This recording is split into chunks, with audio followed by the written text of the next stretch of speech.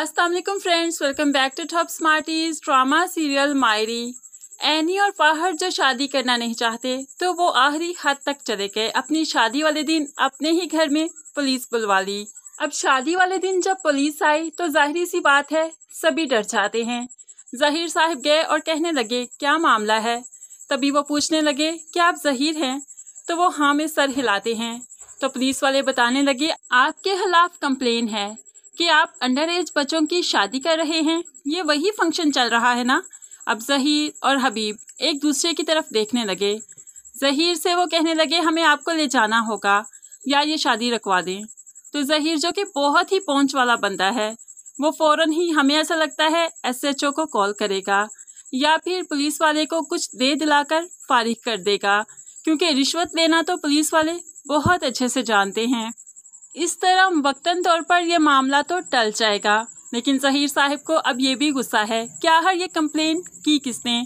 इस टाइम तो है पता नहीं चल सका। इस टाइम तो शादी के मामला में बहुत बिज़ी हैं, इसलिए शादी निपटा दी। अब एनी और फाहर के तो वहमो गुमान में भी नहीं था कि ये शादी हो जाएगी। लेकिन यहाँ पर निकाह भी हो गया। एनी भी स्टेज पर आकर बैठ गई और एनी रुखसत होकर फाहर के कमरे तक भी आ गई। तभी यहाँ पर फ़ौरन ही एनी अपने कपड़े चेंज कर लेती है और जैसे ही फाहर कमरे में आया तो एक दूसरे को बिल्ली और चूहों की तरह नोचने लगे।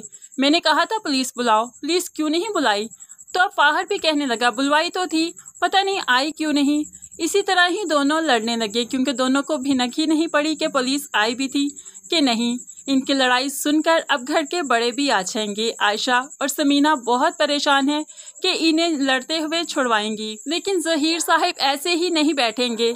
वो ज़रूर पता लगाएँगे, क्या हर ये कंप्लेन किसने की थी तभी पता चल ही जाएगा कि ये कंप्लेन फाहर के दोस्त अहमद ने की थी।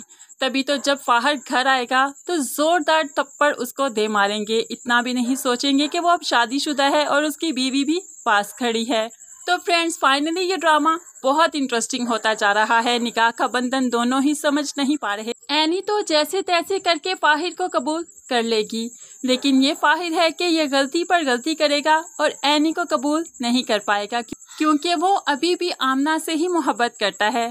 फ्रेंड्स, आपको क्या लगता है कि पुलिस आने के बाद इनकी शादी पोस्टपोन हो जाएगी या नहीं? आप भी अपनी कीमती राय का इजहार नीचे कमेंट्स में कीजिएगा। मजीद वीडियोस के लिए चैनल को सब्सक्राइब करके साथ बेल नोटिफिकेशन ज़रूर प्रेस कीजिए ताकि आने वाली हर वीडियो आप आसानी से देख सकें। अल्लाह हाफिज़।